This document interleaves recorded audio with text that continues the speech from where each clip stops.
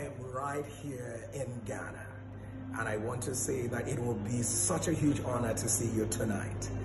If you ever think about what fire looks like, come find out tonight. And I'm already in Ghana. Beat me to it.